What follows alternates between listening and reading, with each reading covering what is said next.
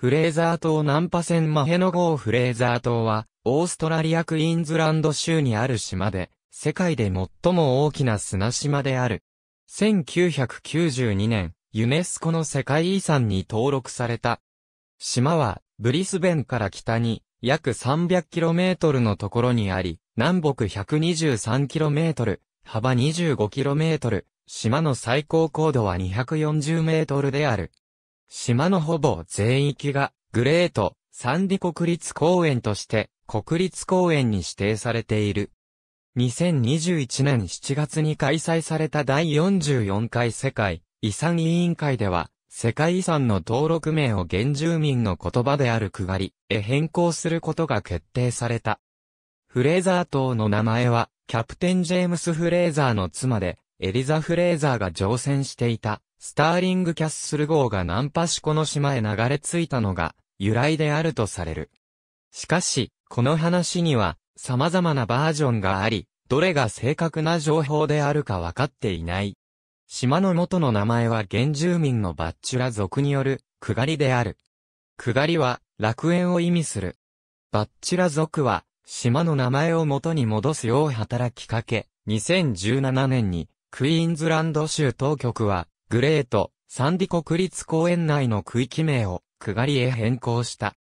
これに続き2021年7月に延期開催された第44回世界遺産委員会において、オーストラリアの要請により、世界遺産の登録名の変更が決定され、9月20日にクイーンズランド州政府は名称の変更を発表した。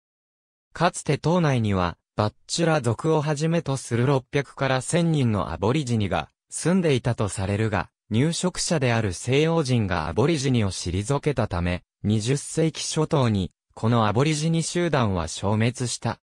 現在では観光従事者など100人余りが、島内に定住している。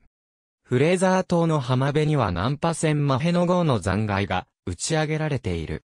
マヘノは1905年にオーストラリア・ニュージーランド間を航行する客船として建造され、第一次世界大戦中には、イギリス海峡で病院船としても利用された。1935年に、スクラップ処分のためメルボルンから日本へ栄光される、際に強いサイクロンにあって打ち上げられ、現在は観光スポットの一つとなっている。フレーザー島の淡水湖は、世界で最も透明度の高い湖の一つである。有名な湖として、マッケンジー湖が挙げられる。この湖も観光客のレジャースポットとなっている。砂が石英であり、かつ水は酸性を示すため、紙、葉、宝石などの洗浄に適し、また人の肌を剥離させる効果がある。石鹸やサンオイルの使用は、元より、ここでの排尿は、湖の透明度を下げるので慎むべきである。島にあるエリー川は、非常に良いレジャースポットであり、ハイキングのほか、水泳を楽しむこともできる。2020年10月下旬、違法な焚き火を原因とする大規模な山林火災が発生。12月になっても火星は衰えず、火災発生から6週間の時点で7万6000ヘクタールが消失した。島全域が一般にも公開されており、観光客は海辺でのキャンプを楽しんだり、ザトウクジラやイルカの出現を見たりすることができる。特にハービー湾は、繁殖と子育てのために訪れるザトウクジラの観察スポットとして有名である。